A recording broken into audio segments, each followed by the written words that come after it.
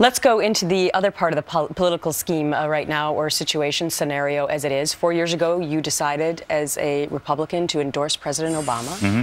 And I know that you're not ready yet to say whether or not you're going to do that. Back then, you called him a transformational figure.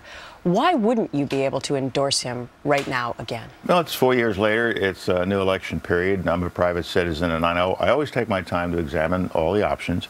And I came out uh, this week on television because I'm on a book tour, not a promotional. I know, but you knew you'd be asked. Tour. You knew you'd be asked that question Yes, because you but did. I've, I mean, I've it- answered it. I'm not ready to Right. make an endorsement. And, and four years ago, you said, you know, we were in a hole economically, and you said that uh, you felt that Barack Obama would be better economically to lead the country out of the hole than John McCain. There was no doubt in my mind at that time. It was pretty convincing. Uh, the Senator Obama at that time had surrounded himself with some rather smart, gifted people.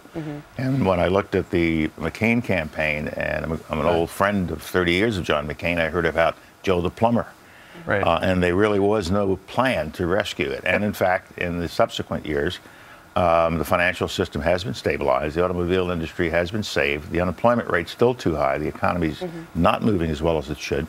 So we still have challenges ahead. Is he still the guy to do it, or is Mitt Romney a guy who's got experience running a state, running the Olympics, running a company? That's the judgment the American people will make, and I will have to make in due course. I must say that um, you know I, the the need for me to endorse anybody right now is really not there. I'll take my time, and when I feel it appropriate, So I you will will eventually make an endorsement. I may or may not. That's